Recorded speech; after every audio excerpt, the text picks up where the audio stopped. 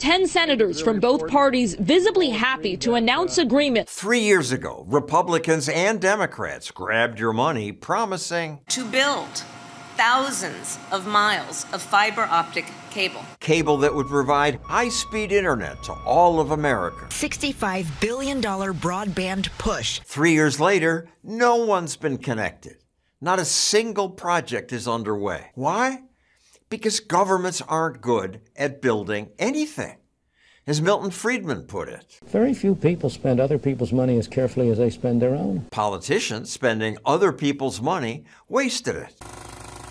Private companies laid miles of cable, while government officials obsessed about giving broadband to the right people. Boys, girls, people of color, people living in rural America. Aging individuals, prisoners, LGBTQ persons.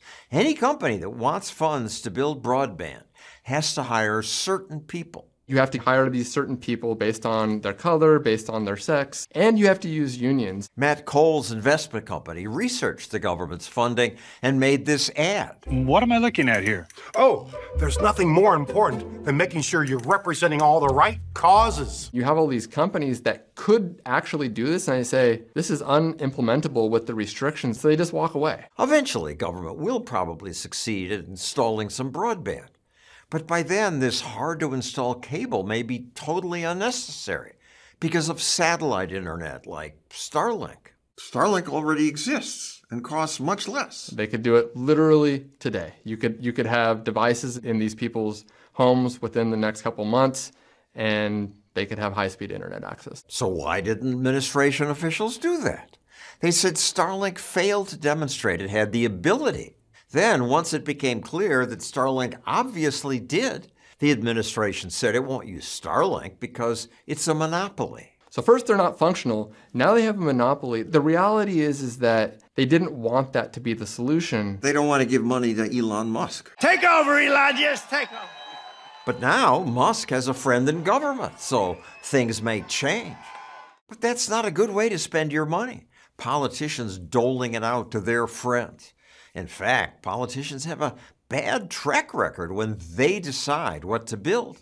They pumped billions into high speed rail. 15 years later, we still don't have it. They lost 500 million on Solyndra, almost a billion trying to create synthetic fuels. More recently, a Biden meatpacking scheme starved a million chickens. And although Biden promised government would build 500,000 charging stations. Two years later, how many have they built for $7 billion? Seven.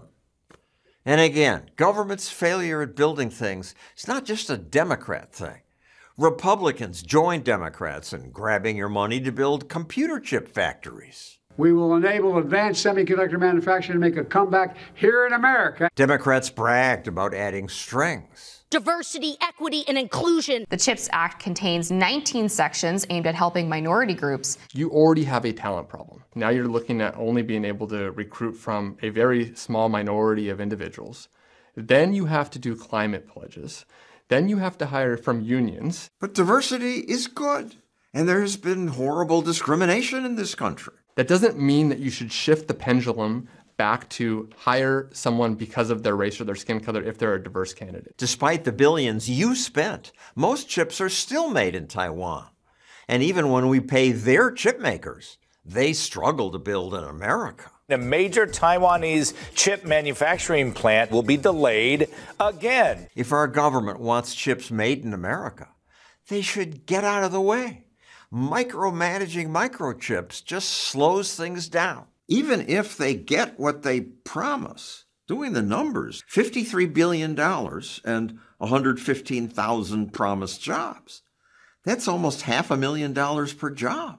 You would expect nothing else from government inefficiency, right? With Republicans in charge, some think things will be better. But as I said, the problem isn't just Democrats, it's government. Republican politicians also harm people when they try to improve on the free market. Trump's steel tariffs destroyed American jobs because they raised the price of steel. Our government should just stop subsidizing politically connected businesses.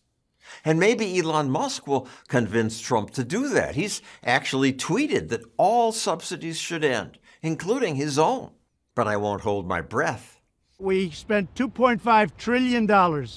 We got everybody pay increases. Once politicians are in power, they always want to do more with your money.